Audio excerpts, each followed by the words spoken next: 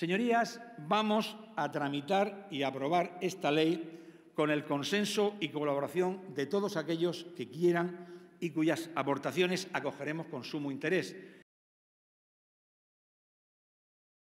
Voluntad de alcanzar consenso el más amplio posible en la tramitación y aprobación de una ley que deviene ya imprescindible para incorporarse a nuestro ordenamiento y, como también ha señalado el ministro, pretende homogeneizar nuestro ordenamiento con el derecho marítimo internacional, proporcionar seguridad jurídica e interpretaciones unívocas en derecho internacional público y privado y reflejar la realidad del transporte marítimo.